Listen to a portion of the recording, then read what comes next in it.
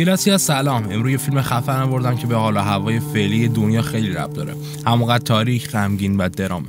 فیلم جوکر محصول سال 2019 آمریکا و با کارگردانی تاد فیلیپس و بازی واکین فونیکس که از بهترین اقتباس‌ها داستان جوکر است و همه چیز به شکل فوق‌العاده‌ای توش به نمایش در میاد این فیلم به ما نشون میده که چطوری جامعه و دولت می‌تونه روحیه شهروندان رو نابود کنه و در آخر منجر به یه اتفاق خیلی بد بشه.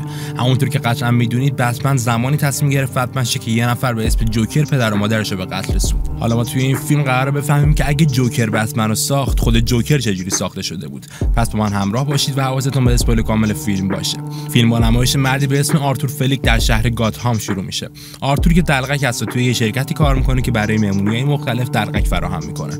آرتور بعد گریم کردن صورتش انگشتش رو دهنش می‌ذاره و یه لبخند زوری رو صورت خودش به وجود میاره. بعد از چند بار تکرار این کار یه خیلی ناخودآگاه اشک روی صورتش میشه که و اینجا کم کم با روحیه عجیب آرتور و افسردگی خیلی زیادش آشنا میشیم.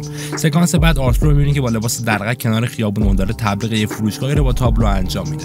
کاری که از طرف شرکتش بهش واگذار شده و بی توجه به نگاه مردم وظیفه‌شو داره تکرار می‌کنه. یه دفعه چند تا بچه میان طرفش با برداشتن تابلوش پا به فرار می‌ذارن. آرتور با تمام قدرتش دنبال بچه‌ها میدوه تا تابلو رو پس بگیره و در نهایت به یه کوچه خلوت می‌رسه. وقتی آرتور سمت بچه‌ها میره یکیشون با همون تابلو بهش ضربه می‌زنه نه تنها تابلو میشکنه بلکه بچه‌ها آرتور رو زیر مشت لگد له می‌کنن. سکانس بعدی آرتور رو می‌بینیم که پیش روانشناسش میره. آرتور بدون مقدمه و هیچ حرفی شروع به خندیدن با صدای بلند می‌کنه. بعد چند لحظه کنترل خودش رو به دست می‌گیره از زندگیش حرف می‌زنه. میگه هر روز داره زندگی بدتر از قبل میشه و خیلی شرایط افتضاحیه. روانشناس می‌پرسه هنوز تو دفتری که بهت گفتم حرفای دلتو می‌نویسی. که آرتور هم میگه آره. روانشناس دفترش باز می‌کنه و با انبوهی از نوشته های تاریک و عجیب روبرو میشه. آرتور تو قسمت های مختلف دفترش جوک می‌نویسه چون خیلی علاقه داره کمدین بشه. اما این جوک ها به طرز وحشتناکی محتوای تاریک و ترسناکی دارن. مثلا تو قسمتی نوشته امیدوارم مرگ من نسبت به زندگی منطقه بیشتری داشته باشه. روانشناس دفتر آرتور رو پس میده و ازش می‌پرسه این جلسات بهت کمکی می‌کنن یا نه. آرتور جواب میده اون روزایی که تو تیمارستان بستری بودم حالم خیلی بهتر بود. اینجا صحنه از آرتور رو می‌بینه که دستاش بسته شده و بدون هیچ حسی سرش محکم به در و دیوار میکوبه. آرتور به حرف زدن ادامه میده و میگه میشه داروهای افسردگی بیشتر کنی که روانشناس هم میگه همین الان داری هفت دارو مصرف می‌کنیم و بیشترش خطرناکه. آرتور میگه من فقط دلم می‌خواد حالم خوب شه که هیچ حس بدی نداشته باشم. بعد از پایان جلسه آرتور با اتوبوس به سمت خونه حرکت می‌کنه. تو اتوبوس بچه جلوش نشسته که آرتور با در آوردن شروع به سرگرم کردن بچه می‌کنه. مادر بچه با دیدن این صحنه دخترش کنار می‌کشه چون حس خیلی بدی نسبت به آرتور داره و آرتور هم با ناراحتی متوجه میشه. اینجاست که آرتور توی اتوبوس یه دفعه صدای بلند شروع به خندیدن می‌کنه. مادر بچه کمی میترسه و با عصبانیت به آرتور میگه چته و اونم بهش کارت پزشکی میده که توش نوشته شده شخص دارای این کارت دچار تیک عصبی و خنده های ناخودآگاهش منشأ روانی داره. آرتور به خونه می‌رسه و می‌بینه که با مادرش پنی فلک زندگی می‌کنه. مادرش می‌پرسه برامون نامه ای نیومده بود که آرتور هم جواب میده نه. پنی میگه منتظر یه نامه از توماس وین هستم. مردی که قبلا براش کار می‌کردم و خیلی وقت جواب نامه هامو نمیده. برای افرادی که با دنیای بتمن آشنایی ندارن لازم اشاره کنم که توماس وین پدر بتمن یا بروس وین بود که جلوی چشمای بچهش توسط جوکر به همراه همسرش به قتل رسید. آرتور بعد دلداران مادرش میگه آقای وین یه تاجر و خیلی سرش شلوغه پس نگران جواب ندادنش نباش. برام به مادرش غذا میده و با هم جلوی تلویزیون میشینن تا برنامه مورد علاقهشون رو ببینن. برنامه‌ای که توسط مجری به نام موری فرانکلین اجرا میشه. تنها چند لحظه از شروع برنامه میگذره که آرتور توی رویای خودش غرق میشه و خودش رو وسط همین برنامه می‌بینه. تو رویاش موری اونو صدا می‌کنه و آرتور بعد از معرفی کردن خودش میگه که چقدر مادرش رو دوست داره و ازش مراقبت می‌کنه. موری هم بهش میگه آفرین و دعوتش می‌کنه کنار خودش رو. همه بیننده های دیگه تشویقش می‌کنن. بعدم موری بهش میگه کاش پسر منم مثل تو بود و همو تو بغل می‌گیرن. آرتور از توهمش بیرون میاد و به این رویای قشنگ لبخند می‌زنه. تو این صحنه ما می‌فهمیم چقدر آرتور توسط جامعه طرد شده و درد تنهایی رو به دوش می‌کشه. آرتور تمام خنده‌هاش اجباری و به خاطر مشکل روانشه. غیر از این صحنه که رویای تشویق شدن توسط مردم به سرش می‌زنه. آرتور آرزو داره توسط جامعه دیده شه چون واقعا آدم خوبیه و از مادرش هم خیلی خوب مراقبت می‌کنه. ولی توسط همه مردم بهش بی احترامی میشه و هیچ وقت حقش رو از مردم یا دولت نمی‌تونه بگیره. روز بعدی می‌رسه و آرتور میره سر کار. موقع لباس عوض کردن می‌بینیم به خاطر دعوای روز قبل تنش کبود شده و همکارش رندال به سمتش میاد و میگه به گوشش رسیده که دیروز چطوری کتک خورده. برام یواشکی بهش پاکتی میده که یه اسلحه توشه تا آرتور بتونه تو شرایط خاص از خودش دفاع کنه. یکی دیگه همکاراش به اسم گری هم میاد و به آرتور میگه رئیس کارت داره. رئیس خیلی رفتار سردی داره و به آرتور میگه یه بار دیگه ازت شکایت کردن چون تابلوی تبلیغاتی این شرکت رو هم از دست دادی و می‌فهمیم این چندمین باره که اینطوری با آرتور بی احترامی شده و کتک خورده. آرتور با نگرانی میگه تابلو رو ازم دزدیدن اما رئیس حرفش باور نمی‌کنه چون کدوم آدم احمقی نمیاد تابلو تبلیغاتی رو بدزده. بعدم بهش میگه پول اون تابلو رو از حقوقت کم می‌کنم. و آرتور رو می‌بینیم که توی سکوت فقط به رئیسش لبخند می‌زنه. اما همین که از اتاق بیرون میاد با عصبانیت میره بیرون و خشم خودش رو خالی می‌کنه. یه بار دیگه با قسمتی از روحیه آرتور آشنا میشیم. اون هیچ وقت نمی‌تونه جلوی دیگران از خودش دفاع کنه چون کسی باورش نداره و خودش هم جرأت اینو نداره که خودش رو ثابت بکنه. آرتور غمگینتر از همیشه به خونه برمیگرده و موقع استفاده از آسانسور یکی از همسایه‌هاش همراه با دخترش هم سوار میشن. اسم این همسایه صوفی است و وقتی طبق معمول آسانسور برای چند لحظه خراب میشه صوفی از وضع بعد ساختمون گله می‌کنه و به شوخی ادای کشتن خودش رو به خاطر شرایط بعد ساختمون در میاره. آرتور هم لبخند می‌زنه و موقع پیاده شدن با ادامه دادن ادایی که صوفی در آورده بود باعث لبخند زدن دختر میشه. آرتور با آپارتمان خودش میره و مادرش رو به همون می‌بره. موقع تمیز کردنش پنی دوباره از نامه ها سوال می‌کنه و میگه آقای وین خیلی آدم خوبی بود و غیر ممکنه بدون وضع زندگیمون داغونه و بهمون کمکی نکنه. پنی بارها برای توماس وین نامه نوشته تا ازش کمک بگیره ولی آرتور وقت نفهمیده که محتوای این نامه چیه و فقط از طرف مادرش ارسالشون کرده. آرتور به مادرش میگه نگران پول نباش چون من به زودی استنداپ کمدین معروف میشم و کلی پول در میارم. مادر با شنیدن این حرف لبخندش محو میشه و به آرتور میگه من فکر می‌کردم باید آدم با مزه باشی تا کمدین بشی. آرتور وقتی می‌فهمه حتی مادر خودش هیچ باوری بهش نداره سرد بودن نگاهش هزار برابر میشه و بعد خوابوندن مادر به اتاق دیگه میره و تازه فشار حرفی که از مادرش شنید رو حس می‌کنه. بعد کمی راه رفتن تفنگ جریرش رو برمیداره تا باهاش تمرین نشونگیری کنه بلکه یه موقع بخواد ازش استفاده ای بشه. تلویزیون موسیقی پخش می‌کنه و آرتور از جاش بلند میشه. اون مثل دیوونه ها میرقصه و تظاهر می‌کنه یه دختر جلوش که داره مخشو می‌زنه. وسط همین رقصا و اداها و حرفا یه دفعه دستش می‌خوره به ماشه تفنگو به سمت دیوار شلیک می‌کنه. مادرش هم از بیدار میشه با نگرانی می‌پرسه صدای چی بود که آرتور هم جواب میده صدای تلویزیون نگران نباش. روز بعدی می‌رسه و آرتور که به همسایه‌اش یعنی صوفی علاقه زیادی پیدا کرده. خیلی یواشکی توی شهر تعقیبش می‌کنه تا زندگیشو بیشتر بشناسه. بعدم میره و اجرای کمدین رو می‌بینه تا نکته‌های مهم رو برای خودش بنویسه. بعد میره خونه و سعی می‌کنه تو دفترش جوکای جدید بنویسه و باز هم یک جمله خیلی تاریک و عمیق رو میگه. آرتور تو دفترش می‌نویسه بدترین قسمت مبتلا بودن به بیماری ذهنی اینه که مردم ازت توقع دارن جوری رفتار کنی که انگار بیماری ذهنی نداری. صدای زنگ در میاد و آرتور همسایه‌ش صوفی رو می‌بینه. صوفی خیلی ریلکس از آرتور می‌پرسه امروز تعقیبم می‌کردی؟ آرتور هم خجالت می‌کشه ولی صادقانه میگه آره. صوفی میگه چیه؟ می‌خواستی مطمئن شی کجام تا وقتی نیستم خونمون رو سرقت کنی؟ آرتور هم با خنده میگه آره دیگه حالا می‌تونم این کارو کنم. صوفی هم از این حرف میخنده و بهش میگه تو آدم با مزه هستی. آرتور هم اعتماد به نفسش میره بالا و از صوفی دعوت می‌کنه تا به اولین اجرای استنداپ کمدیش بیاد. دخترم قبول می‌کنه و به خونه خودش میره. روز بعدی آرتور رو می‌بینیم که به عنوان دلقک به بیمارستان رفته و داره برای بچهای بیمار برنامه اجرا می‌کنه. وسط اجرا یه دفعه تفنگی که دوستش بهش داده بود از لباسش میفته پایین. اون با وحشت و استرس تفنگو برمیداره و سعی می‌کنه با شوخی و خنده به بچه‌ها بگه این یه راز بین من و شما باید بمونه. اما بعد از پایان اجرا رئیسش همون موقع باهاش تماس می‌گیره. به شدت بابت این اتفاق عصبانیه و وقتی آرتور به دروغ میگه اون تفنگ اسباب بازی بود حرفش باور نمی‌کنه. رئیس میگه همکارت رندال بهم گفته که می‌خواستی ازش تفنگ بخری و بعد پشت تلفن آرتور رو اخراج می‌کنه. آرتور با شنیدن خبر اخراجش و اینکه دوستش براش پاپوش درست کرده به شدت فرو میریزه و انقدر خشمگین میشه که یه ضربه سر شیشه یه اتاقی که تلفن عمومیه رو میشکنه. آرتور داره با مترو به سمت خونه میره که متوجه میشه سه نفر در حال اذیت کردن خانومی تنها توی قطارن. آرتور دوباره تیک عصبیش می‌زنه و با صدای بلند میخنده. زن که ترسش چند برابر میشه سریع از اون مرد فاصله می‌گیره و سه تا مرد دیگه با دیدن رفتارهای عجیب آرتور به سمتش میان تا اونو دست بندازن. یکیشون شروع به خوندن یه شعر می‌کنه و یکی دیگه‌شون کلاه‌گیس آرتور رو برمیداره. ازش می‌پرسن چرا همش میخندی؟ وقتی آرتور سعی می‌کنه با نشون دادن کارتش مشکل روانیش رو توضیح بده اونو به زمین میندازن شروع به کتک زدنش می‌کنن. آرتور که دیگه همه زندگیش آشوب شده این بار ساکت نمیمونه برای اولین بار با استفاده از تفنگش به سمت دوتاشون شلیک می‌کنه. مرد سوم وحشت می‌کنه و پا به فرار می‌ذاره اما آرتور میره دنبالش با شلیک بهش اونو هم به قتل میرسونه. اینجاست که یه دفعه گوش آرتور سود می‌کشه و انگار تازه می‌فهمه چه کار ترسناکی انجام داده. اون با استرس و نگرانی با سرعت شروع به دویدن می‌کنه و از محل دور میشه. وقتی به دستشویی عمومی می‌رسه اول یکم با نگرانی اطرافو می‌بینه اما بعد چند لحظه آرامش خودش رو پیدا می‌کنه و شروع به رقصیدن با موسیقی توی ذهنش می‌کنه. انگار آرتور کلا آدم دیگه شده و وقتی به خونه خودش می‌رسه به سمت آپارتمان صوفی میره و در می‌زنه. بعدم بدون هیچ فکری شروع به بوسیدن صوفی می‌کنه و بستن در روی دوربین متوجه میشیم شب با هم گذروندن. روز بعدی آرتور به سر کارش میره تا لوازمش رو جمع کنه. و متوجه صحبت همکاراش راجع به دلقکی میشه که توی ایستگاه مترو سه نفر با تفنگ به قتل رسونده و می‌دونه که خودشه. بعدم سمت آرتور میان تا بهش دلداری بدن و ازش خداحافظی بکنن. وقتی همکارش رندال هم شروع به صحبت می‌کنه جوری که انگار نه انگار با پاپوش درست کردن زندگی آرتور رو به هم ریخته اون کنترل خودش رو از دست میده و به همه همه اعلام می‌کنه تفنگ که باعث مرگ سه نفر تو مترو شده واسه رندال بوده. بعدم به سمت در خروجی میره و توی راه پله روی تابلو که نوشته شده یادت نره لبخند بزنی خط می‌کشه و اونو تبدیل می‌کنه به جمله لبخند نزن. آرتور به خونه میره و با مادرش پای تلویزیون میشینن. توماس وین رو می‌بینن که توی اخبار داره راجع به قتل این سه نفر توی مترو حرف می‌زنه و میگه اون سه نفر کارمندای شرکت من بودن و این قتل قطعا به خاطر حسادت به وضع مالی اونا شکل گرفته. مجری می‌پرسه به نظر چرا مردم آمریکا جدیدا نسبت به سرمایه‌دارا و آدمای پولدار جبهه گرفتن؟ که توماس وین جواب میده من می‌خوام شهردار گاتهام شم تا این طرز فکر رو درست کنم. توماس ادامه میده که کسی که این قتل رو انجام داده ماسک درقک داشته. چون یه آدم ترسو و بدبخت و نمی‌خواد هیچکس حقیقتش رو بفهمه.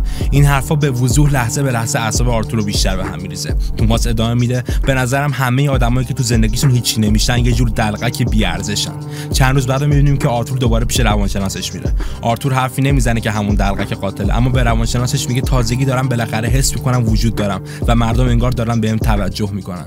روانشناسش علاقه به حرفاششون نمیده و یه میگه دولت داره بودجه مؤسسه ما رو قطع می‌کنه و دیگه نمی‌تونم بهت مشاوره رایگان بدم. آرتور یکم به هم میریزه و میگه پس دیگه باید با کی صحبت کنم و کی برام دارو تجویز کنه؟ اما روانشناس هیچ جوابی نداره و فقط ازش معذرت خواهی می‌کنه. شب می‌رسه و آرتور می‌بینه که یه بار رفته و زمان اجرای استنداپ کمدیش رسیده. سوفی هم به اونجا اومده تا ببینتش. آرتور روی سه میره و اول با خاطر استراب زیاد تیکش دوباره می‌زنه و ناخودآگاه با صدای بلند میخنده. بعدم شروع به خوندن جوکای تاریکی می‌کنه که نوشته ولی هیچ کدوم از بیننده ها کوچکترین لبخند و آرتور می‌فهمه استعدادش توی این زمینه واقعا داره افتضاح میره. بعد اجرا با سوفی به سمت خونه راه میافتن. آرتور غمگینه اما وقتی روزنامه ها رو می‌بینه که یه عکس دلقک قاتل یعنی خودش رو چاپ کردن کلی انرژی می‌گیره. این انرژی صد برابر میشه. وقتی سوفی شروع به صحبت راجع به این قاتل می‌کنه و میگه به نظر من اون یه قهرمانه. مردم دارن اونو به عنوان یه شخصیت انقلابی مقابل سیستم سرمایه‌داری می‌بینن و آرتور با دیدن مردی که توی یه تاکسی ماسک دلقک قاتل رو زده به این قضیه پی می‌بره. آرتور به خونه برمیگرده و مادرش رو می‌بینه که جلوی تلویزیون خوابش برده. پسر اونو به اتاق خوابش می‌بره ولی مادر قبل رفتن بهش میگه یه نامه نوشتم. آرتور نامه رو باز می‌کنه و با خوندنش به یکی از مهمترین قصه های زندگیش پی می‌بره. اون می‌فهمه توماس وین همون تاجر معروف و صاحبکار قبلی مادرش پدر واقعیشه. آرتور انقلاب بزرگی توی ذهنش شکل می‌گیره و به شدت از مادرش به خاطر پنهان کردن این راز عصبانی میشه. مادر از واکنش آرتور میترسه و به دستشویی میره تا در رو روی خودش قفل کنه. آرتور با عصبانیت به در میکوبه تا مادر شروع به صحبت می‌کنه. اون میگه من و توماس وین عاشق همدیگه بودیم. من نمی‌تونستم این حرفو به هیچ کس بزنم چون توماس ازم یه تعهد گرفته بود که به خاطر حفظ آبروش به کسی حرفی نزنم. روز بعدی می‌رسه و آرتور توی اتوبوس در حال خوندن روزنامه است. و دیدن عکس توماس وین و خانواده‌اش اونو از روزنامه جدا می‌کنه. اون به محل زندگی توماس میره و کاخ بزرگی که برای خودش درست کرده و پسر دیگش بروس وین یا همون بتمن آینده رو هم می‌بینه. آرتور جلوی در ورودی میره و یه شروع به انجام چند تا شعبده بازی می‌کنه و بروس هم با کنجکاوی نزدیکتر میاد. بروس می‌پرسه اسم چیه که آرتور جواب میده و بعد با رفتار عجیبی میره جلوتر و با دستاش رو صورت بروس حالت خنده به وجود میاره. یه خدمتکار این خونه آلفرد میاد جلو و آرتور رو تهدید به تماس با پلیس می‌کنه. آرتور بازم عقب نمی‌کشه و میگه من پسر توماس وین و پنیم و همه چیزو می‌دونم. آلفرد با رفتار کثیفی به آرتور میگه مادرت یه آدم روانی و توهمی بوده شروع به خندیدن به آرتور می‌کنه. آرتور خشمش چند برابر میشه و از پشت میله گردن آلفردو می‌گیره تا خفش کنه. اما با دیدن ترس توی نگاه بروس اونو ول می‌کنه و پا به فرار می‌ذاره. آرتور به خونه برمیگرده و با دیدن آمبولانس جلوی آپارتمان باز استرس و نگرانی شروع میشه. وقتی می‌فهمه مادرش حال خوبی نداره و داره با آمبولانس به بیمارستان میره ترسش بیشتر میشه و همراهشون میره. آرتور دم در بیمارستان میشینه و سیگار می‌کشه که یه دفعه دو تا پلیس به سمتش میان. پلیسا به آرتور میگن ما قبلا به پیش مادرت رفته بودیم تا راجع به قتلای توی ایستگاه مترو صحبت بکنیم که یه دفعه قلبش درد گرفت و به بیمارستان منتقل شد. حالا هم چند تا سوال از تو راجع به همون قتل داریم. بعد راجع به افتادن تفنگ از جیب آرتور موقع اجراش سوال می‌کنن و آرتور با شنیدن حرف پلیس با آرامش بهشون میگه تفنگ که توی بیمارستان از من افتاد فقط یه اسباب بازی بود و به داخل بیمارستان میره تا مادرش دوباره ببینه. توی اتاق بیمارستان صوفی کنار آرتور نشسته و با خداحافظی به خونه برمیگرده. آرتور کنار مادر بیهوشش میشینه و تلویزیون روشن می‌کنه تا برنامه مورد علاقهشون یعنی موری فرانکلین رو ببینه. یکی دیگه از بدترین اتفاقای زندگی آرتور همینجا میفته موری توی برنامهش فیلمی از استنداپ کمدی آرتور پخش می‌کنه و به عنوان یکی از بدترین کمدینای دنیا شروع می‌کنه به مسخره کردنش. الگوی زندگی آرتور و تنها کسی که باعث میشه با فکر کردن به رویاش لبخند واقعی روی صورتش شکل بگیره حالا آرتور رو به چشم یه آدم داغون و مسخره می‌بینه و این یعنی آخرین ضربه به همه رویاهای این مرد. آرتور به خونه برمیگرده و با غم زیاد دراز می‌کشه در حالی که تلویزیون داره اخبار رو نشون میده. اخباری حاکی از انقلاب و شعار دادن هزاران شهروند با ماسک دلقک روبروی ساختمونی که توماس وین درونشه اونم به خاطر حرف که توماس وین زده بود و گفتش همه مردمی که به هیچی توی زندگیشون نمی‌رسن یه جور دلقکن آرتور با دیدن اخبار امید جدید توی سرش شکل می‌گیره. اون به خیابون میره و به جمعیت معترضا میپیونده. وسط دعوا مرافع پلیس با معترضا خیلی یواشکی وارد ساختمون تئاتری میشه که توماس و خانواده‌اش در حال تماشای فیلمن. آرتور یونیفرم کارمندای سینما رو میپوشه و خیلی نامحسوس به داخل سالن میره تا در حال تماشای فیلم آقای وین رو زیر نظر بگیره. وقتی وین به دستشویی میره آرتور میره دنبالش برای اولین بار باهاش رو در رو حرف می‌زنه. آرتور میگه مادر من پنی و من پسر واقعی تو هم اما توماس وین میگه پنی یه آدم روانی بود. من هیچ وقت بهش دستم نزدم و اون تو رو از خونه به فرزندی گرفته بود و فقط می‌خواست برای من الکی داستان درست کنه. آرتور با شنیدن این حرفا عصبانی میشه و این وسط با فعال شدن تیکه عصبی شروع به خندیدن می‌کنه. توماس وین هم که از این مرد میترسه مشت به صورتش می‌زنه و از اونجا خارج میشه. آرتور به خونه می‌رسه که دوباره پلیسا باهاش تماس می‌گیرن. چون مظنون قتلای توی مترو اما آرتور جواب تلفن رو نمیده و یه دفعه خودش رو توی یخچال خونه جا می‌کنه تا اونجا شب بخوابه. شاید به خاطر روانی بودن شاید به خاطر خشم زیاد شاید به خاطر اینکه حس می‌کنه خودش مثل یخچال سرد شده و شاید به خاطر هزار دلیل دیگه. روز بعد می‌رسه تلفن خونه زنگ می‌خوره و از برنامه موری فرانکلین با آرتور تماس می‌گیرن. اونا میگن موری خیلی دوست داره توی برنامهش به عنوان مهمون حاضر شی و واضحه که آرتور بدون هیچ تردیدی قبول می‌کنه. بعد به بیمارستان شهر میره و درخواست می‌کنه تا پرونده پزشکی مادرش رو ببینه. اون به حرفای توماس وین شک کرده و فکر می‌کنه مادرش شاید یه مشکلی داشته باشه. مسئول پرونده میگه پنی یه آدم روانی بوده و به بچهش صدمه میرسونده. اما پرونده رو نمی‌تونه به آرتور بده. آرتور این براش کافی نیست با دزدیدن پرونده پا به فرار می‌ذاره با خوندنش بالاخره شکای توی سرش به یقین تبدیل میشن. توی پرونده نوشته شده که آرتور از یتیم خونه به فرزند خوندگی قبول شده و مادرش راجع به توماس وین همیشه دروغ می‌گفته. آرتور اینجا واقعا میشکنه. همه زندگی و باورش فرو ریخته و با ناراحتی تمام به خونه برمیگرده. به آپارتمان صوفی میره و همینطوری بی هیچ حرکتی میشینه که وقتی صوفی متوجه حضورش میشه خیلی میترسه و بهش میگه گمشو بیرون. اینجاست که آرتور یاد خاطراتش با صوفی میفته. آرتور می‌فهمه تمام لحظه هایی که کنار صوفی بود و حتی شبی که با اون گذرونده فقط یه توهم بودن و در واقع تمام اونا رو خودش تنهایی تجربه کرده. صبح روز بعد آرتور به بیمارستان میره. انگار حالا یه آدم دیگه شده. اون رو به مادرش میگه زندگی من یه تراژدی نیست بلکه یه کمدیه. و با بیرحمی و چشمای خالی از هیچ ترسی متکا رو روی صورت مادرش نگه میداره و با خفه کردنش خشمی که از دروغای این زن بهش رسیده رو خالی می‌کنه. اون به خونه برمیگرده. حالا مادرش مرده و اون با آرامش لباس شیکش رو برای رفتن به برنامه موری میپوشه. مدام میخنده و موهاش مرتب می‌کنه. حرفا که می‌خواد بزنه رو تمرین می‌کنه و با یه تصمیم جدید موهای خودش رو کاملا به رنگ سبز تغییر میده. بعد شروع به گیریم کردن خودش شبیه به دلقک می‌کنه که صدای زنگ در میاد. آرتور یه قیچی توی جیبش می‌ذاره و در باز می‌کنه. اون طرف همون همکار عوضی و آدم فروشش رندال رو می‌بینه. رندال و همراه همکار دیگهشون گری بعد از شنیدن خبر مرگ مادر آرتور اومدن بهش سر بزنن. رندال شروع به حرف زدن می‌کنه و میگه این روزا پلیسا دارن همه دلقکا رو بازجویی می‌کنن تا قاتل اون سه نفر پیدا شه. و می‌خوام بدونم با تفنگ من چیکار کردی. آرتور حتی یه لحظه هم دریغ نمی‌کنه. و یه دفعه با استفاده از قیچی رندال رو می‌کشه و شروع به کوبیدن بیرحمانه سرش به دیوار می‌کنه. اون رندال یکی از مقصرای همه آشوبای زندگیش می‌دونست و اینطوری انتقام خودش رو هم می‌گیره. گری که وحشت می‌کنه می‌خواد در بره اما در خونه قفله و می‌فهمه راه فراری نیست. اما در کمال تعجبش آرتور در براش باز می‌کنه و میگه تو همیشه با من خوب بودی و هیچ وقت اذیتم نکردی. بعدم باهاش خداحافظی می‌کنه و می‌ذاره که بره بیرون. آرتور آماده میشه و به سمت محل برنامه راه میفته توی راه یکی از به یاد موندنی صحنه های سینما رو داریم. جایی که آرتور بدون هیچ غصه‌ای برای اولین بار از ته دلش خوشحال و شروع به رقصیدن روی پله می‌کنه. یه دفعه دو تا مأمور پلیس سر می‌رسن و آرتور با دیدنشون می‌فهمه توی دردسر افتاده و پا به فرار می‌ذاره.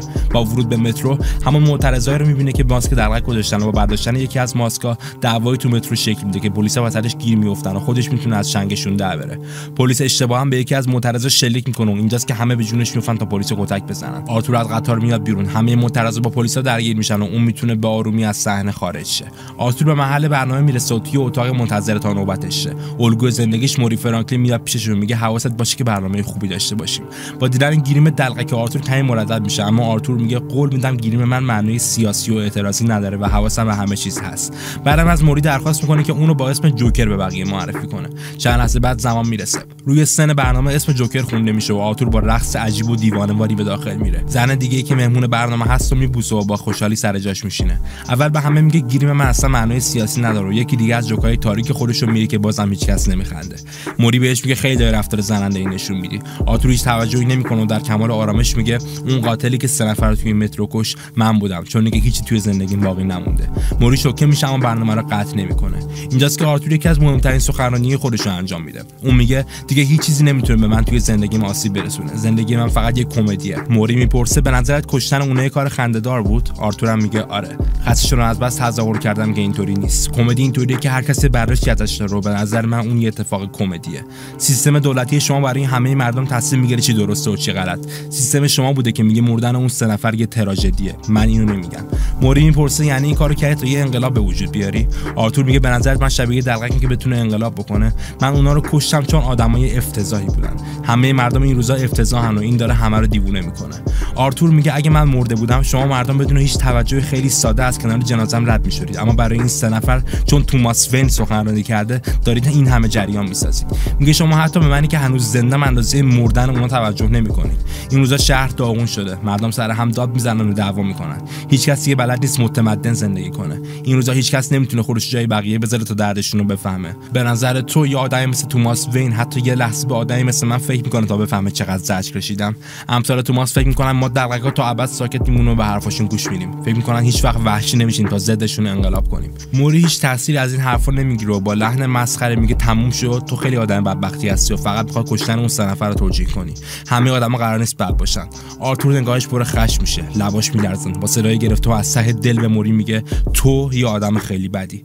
موری با همون لحن میگه واقعا من اون وقت کجام بده؟ آرتور با غمی از ته دلش میگه تو ویدیو منو پخش کردی منو دعوت کردی اینجا تا جلوی همه مسخرم کنی. تو هم یکی مثل همونایی. موری میگه تو هیچی راجع من نمی‌دونی. کاری که تو کردی باعث شده مردم مثل وحشیا بریزن بیرون. دو تا مامور پلیس رو زخمی کردن تو اینجا نشستی و میخندی. آرتور تیکه عصبیش فعال شده و با همون خنده هیستریکی میگه آره می‌دونم. یه جوک دیگه بگم. به نظرت وقتی یه مریض روانی و قاطی جامعه میندازی که هیچ توجهی بهش نمی‌کنه و باهاش مثل آشغال رفتار می‌کنن چی گیرت میاد؟ موری فریاد می‌زنه که به پلیس زنگ بزنید. آرتور ادامه میده. الان بهت میگم چی گیرت میاد. همون چیزی که دقیقا حقته. یه دفعه اسلحه‌ش رو در میاره جلوی چشم همه تو برنامه زنده به سر موری شلیک می‌کنه. صحنه که باعث میخکوب شدن همه ما میشه. لبخندی از رضایت ترس خوشحالی غم و همه چی روی صورت آرتور میاد و بعد چند تا شلیک به جنازه موری سمت دوربین میاد و پخش برنامه قطع میشه. پلیس آرتور رو دستگیر می‌کنن. حالا با دیدن این برنامه همه جای شهر آشوب چندین برابر شده. یه دفعه آمبولانسی به سمت ماشین پلیس میاد و با زدن بهش ماشین چپ می‌کنه. تعدادی معترض هم با ماسک دلقک از آمبولانس میان بیرون و آرتور رو نجات میدن. آرتور به خاطر ضربه بیهوش شده. قسمت دیگه از شهر می‌بینیم که توماس وین با خانوادهش در حال فرار از دست معترضان. یه معترض دیگه با ماسک دلقک دنبالشون میره و به توماس میگه تو لیاقتت همینه. بعد اسلحه در میاره با شلیک به توماس و همسرش از اونجا در میره. بروس وین با دیدن این صحنه شوکه میشه و این همون نقطه‌ایه که تو آینده اونو تبدیل به بتمن می‌کنه. بتمنی که حالا می‌دونه خانواده‌اش جوکر نکشته بلکه ایدئولوژی اون باعث شکل گرفتن افرادی شده که خانواده‌اش رو کشتن. آرتور به هوش میاد. روی ماشین پلیس وامیسته با افتخار به معترضای دورش نگاه می‌کنه. اون جلو همشون با خوشحالی میرقصه و با خونی که از بینیش راه افتاده روی صورتش لبخندی می‌کشه. سکانس عوض میشه. آرتور می‌بینه که تو بیمارستان روانی نشسته. روانشناس ازش می‌پرسه حال چطوره که آرتور با صدای بلند میخنده. روانشناس میگه چرا میخندی؟ که آرتور میگه تو متوجه نمیشی. بعد شروع به خوندن شعری می‌کنه به اسم زندگی یعنی. شعری با محتوای غمگین از زندگی که همه چیش نابود شده برای آرتور خیلی خنده داره. فیلم با نمایش دادن آرتور در حالی که با کفش خونی داره توی بیمارستان قدم می‌زنه به پایان می‌رسه. فیلم جوکر به ما نشون میده که یه جامعه سرد و بیروح وقتی به مردم شهرش اهمیت نده چه بلایی سر روان و آرامش اون مردم میاره. جامعه که توسط دولت مداری کنترل میشه که تمام فکر و ذکرشون سرمایه‌داری و کنترل آدم مثل یک مش برده‌ست تا به خواستهای بزرگتر دولت برسن کوچکترین اهمیتی به آرامش شهروندان نمیدن. آخر فیلم ما نمی‌فهمیم آرتور بعد از به وجود آوردن اون انقلاب به تیمارستان رفته و در آخر با کشتن اون پرستار کفشاش خونی میشه. یا اینکه از اول توی تیمارستان بوده و تمام این خاطرات و حرفایی که می‌زنه خیلی قبلا اتفاق افتاده و فقط یه خاطره براش بودن. از یه طرف می‌تونیم بگیم تمام صحنه‌های تیمارستان فقط ساخته ذهن آرتور هستن و هیچ حقیقت خارجی ندارن و هیچ وقت به اونجا نرفته. این فیلم به ما نشون میده تو ساخت جوکر یا همون جوکرهایی که نماد یه خشم شکل گرفته از جامعه هستن همه آدما به شکلی تقصیر دارن. هم مردمی که به همدیگه توجه نمی‌کنن و غرق زندگی روتینشون میشن همون دولتی که همچین آدمایی رو پرورش داد نتیجهش براش اهمیتی نداره. فیلم جوکر فوق العاده است. ما همیشه تو ذهنمون خونده شده بود که بتمن قهرمانی که جوکر رو شکست میده. اما اینجا یاد می‌گیریم همون دولتی که بتمن بهش کمک می‌کنه باعث ساخت همچین ضد قهرمان بزرگی شده. رفقا like comment subscribe یادتون نره. روزتون هم گیلاسی.